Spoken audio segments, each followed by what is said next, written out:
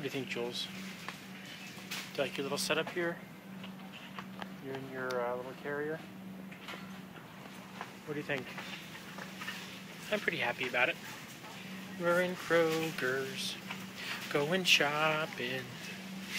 Julia's hanging out, right? Yeah, I'm hanging out, Daddy. Everybody. She's eating her carrier, but that's okay.